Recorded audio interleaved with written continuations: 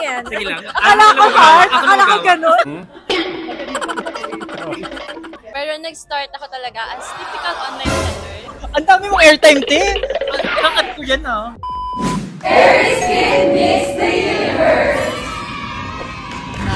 Hello mga mami, I'm back! So ngayon mga mami, andito tayo ngayon sa Miss Universe Philippines 2024 Fairy Skin Event. Kasama natin ang 23 candidates out of 54. Kasama rin natin mga pageant vloggers, media natin. So, I'm Jonathan Santos from The Crown. So, may tanong ako sa iyo. As of the moment, who's your Miss Universe Philippines 2024? My heart belongs to Quezon Province. Maria Atisa Manalo. Quezon Province! Love it. I'm with one of my mothers. So, ito may question lang ako sa'yo. As of the moment, who's your Miss Universe Philippines? Um, Pau Kanyamo. Rining ako, ma! Ay, rining ka ba? rining ako. As of the moment kasi, medyo fair and square yung labanan. Kaya hindi ko pa masasabi kung sino talaga yung Miss Universe Philippines as of the moment. Pero kung bukas na yung Miss Universe ha, na ilalaban talaga, I'll go with Quezon Province. Siya, siya talagang ready for you. Mm, for me, as of the moment. Pero mahaba-haba pa to eh. So, may tinatawag kasi tayo na ano, coronation glow. So, hintayin natin kung sino magbibigay sa atin ng coronation glow. Pero as of the moment, Quezon Province. Love it. Thank you so much for that. Follow nyo, Mars France!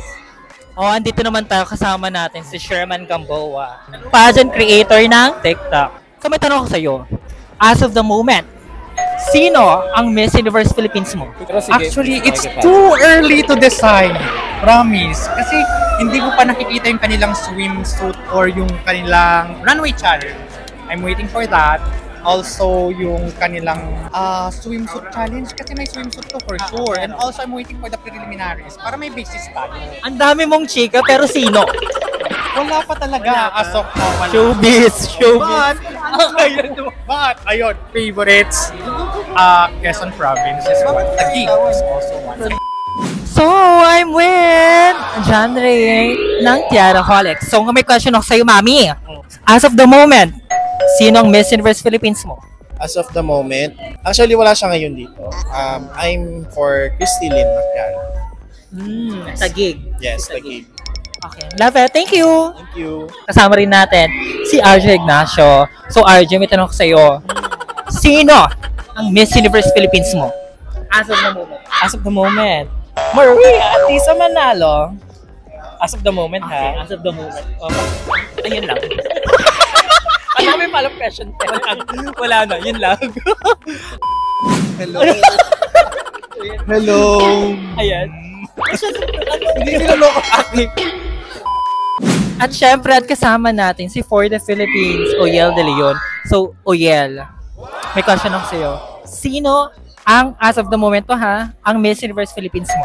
As of the moment, nasa fair skin tayo na event and ang pinakaangat ngayon is Maria Atisa Manalo. Wow. Quezon Province. Thank Love you. it. Thank you. Follow siya For the Philippines. Ah, wag na po. Thank you. Nakakahiya. Kainis. So what was the last item you purchased online? At ngayon mga mami, since natanong na nga natin ang ating mga pageant media, mga influencers na nandito ngayon sa Fairy Skin event, tanungin naman natin ang mga candidates ngayon. Tara, samahan nyo. Let's go, let's go, let's go! Hi! So ngayon, kasama na natin si Miss Universe Philippines Davao and of course, Nueva Ecija.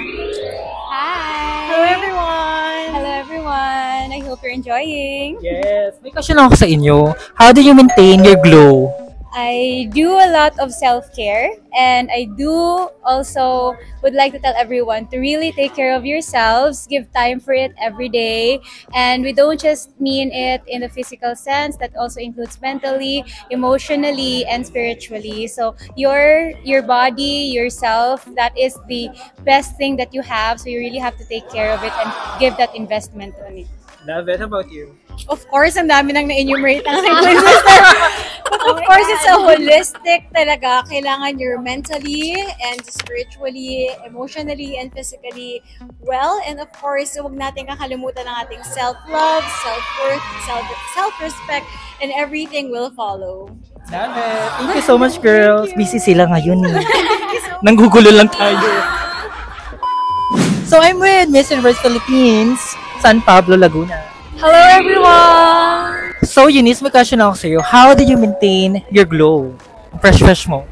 Well, I maintain my healthy and glowing skin by taking care. Every morning, I had my self uh, preparing my time for cleansing my skin, even uh, putting sunscreen to protect my skin from sun damages, and even on daytime, uh, lunch or noon time, I apply reapply sunscreen because we all know that Philippines is a tropical country that we should protect our skin from sun damages.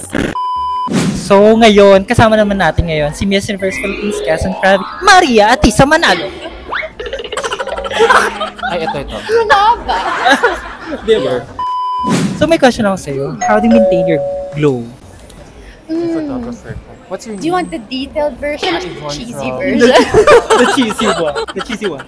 Okay, the cheesy version is I really try to think of nice thoughts, nice positive thoughts. Bawal ba? Oo, oo. Very quick lang. I really try to think of nice positive thoughts because I really think that if you are a positive person, if you are a nice person, you really glow from the inside out. So I do think that's my secret. I try to think of happy thoughts all the time and positive things. I love that. Nakaka-inspire naman yun. Am I inspired? Thank you so much. Hmm? At hindi pa natatapos yan. I'm with Miss Universe Philippines, Laguna. Yan? Sige lang. Akala ko ba? Akala ko ganun. Ay, magagat itong bloopers.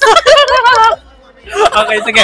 So, ito na. May question ako sa'yo. How do you maintain your glow? Of course, proper skincare. Fairy Skin is what no no ano ha. Of course there are sponsors but yeah, a few months ago I switched to Fairy Skin. I'm a free diver kasi.